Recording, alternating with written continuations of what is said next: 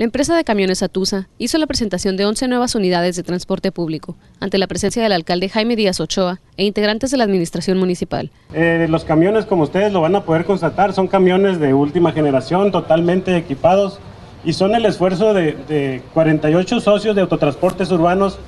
pues que ante la situación difícil económica de, de otra índole, están haciendo un esfuerzo por mantener ese nivel, esa calidad y el equipo teniéndolo lo más nuevo y lo más funcional posible. Los camiones son de última generación y totalmente equipados, para brindar comodidad a los usuarios del transporte público mexicalense, y cuentan con aire acondicionado y servicio de internet. Y a todas las demás familias que le han apostado y han confiado en algo que se inició precisamente ya hace más de 12 años, que es el principio de la modernidad del transporte público.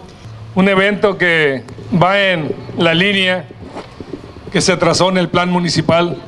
de Mexicali de los tres años que nos tocan de gobierno al frente junto con Rafael